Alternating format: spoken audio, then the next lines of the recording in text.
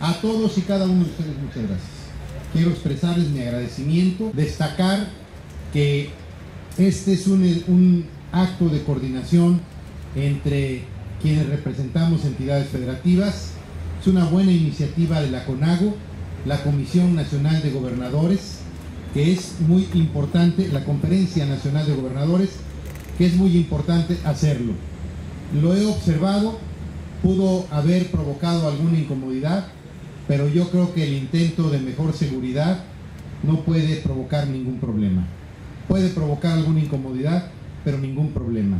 Yo quiero reconocer que esto se esté haciendo, seguramente vamos a ir a otro estado, junto con gobernadores, entiendo que iremos a Sinaloa posteriormente, será otro punto que se tocará.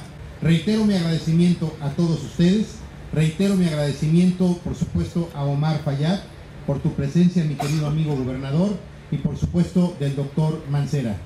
Sirva este ejercicio eh, serio, responsable, de buenos propósitos, para que abra más brecha, más sólida, más fuerte en la ruta de coordinación entre los representantes de las entidades federativas en el país que es México. Pensando en México, hoy pensando en Guerrero, muchas gracias, que viva México y que viva Guerrero.